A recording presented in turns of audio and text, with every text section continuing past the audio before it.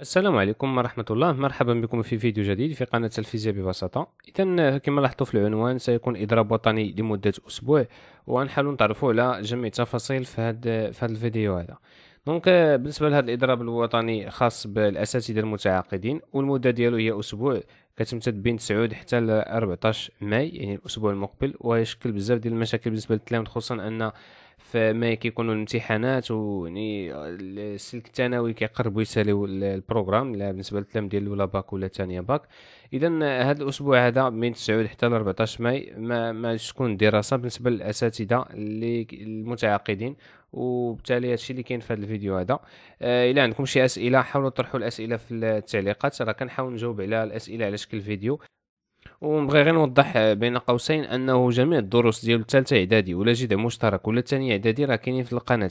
والفروض راه صحيت مجموعة من الفروض لأن بزاف ديال التلاميذ كيسولوا في التعليقات. أستاذ دينا الفرد دينا راه جميع الفروض راهم كاينين تما. أكثر من ذلك راه كاين جوج نماذج ثلاثة نماذج لبعض المستويات.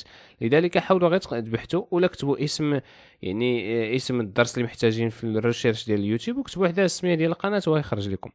إذا هادشي اللي كاين في هذا الفيديو بلا ما نطول عليكم موعدنا في فيديوهات أخرى والسلام عليكم ورحمة الله.